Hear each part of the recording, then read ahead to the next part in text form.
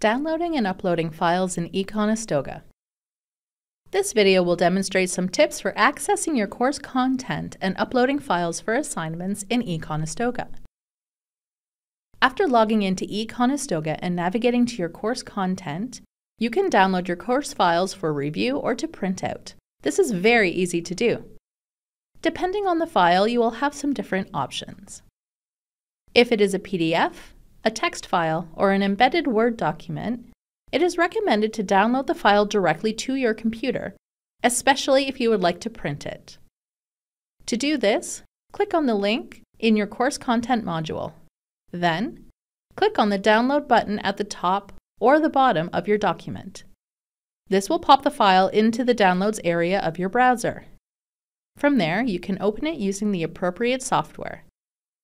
If you would like to print, perform the printing procedure as you would for any document in that software. If it is a PowerPoint presentation, you may see it appear as a PDF or a PowerPoint file.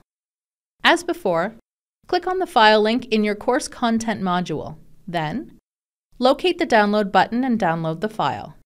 Open the file in the appropriate software, save it to your computer, and or print it directly. To upload files to eConestoga, first navigate to the appropriate assignment submission folder. Then, after double checking that your assignment is complete and that all of the assignment criteria are met, scroll down to the Submit Assignment section. Click on the Add a File button, then My Computer, then the Upload button to find and add your file.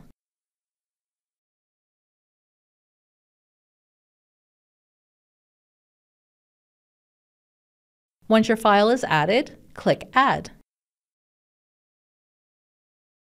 Write any comments if necessary, and then click Submit.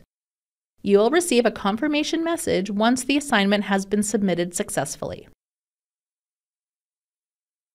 In this video, we demonstrated how to access and download files from your course content and how to upload files to eConestoga for assignment submission. If you have any questions related to eConestoga, please use the Student Support menu in your course shell or contact your professor. If you have any other technical questions, please connect with the Teach Me Tech staff at the library.